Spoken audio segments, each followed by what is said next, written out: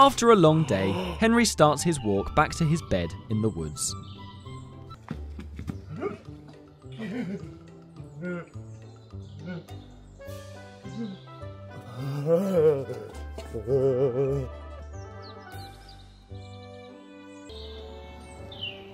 Finally, Henry finishes the day with dinner.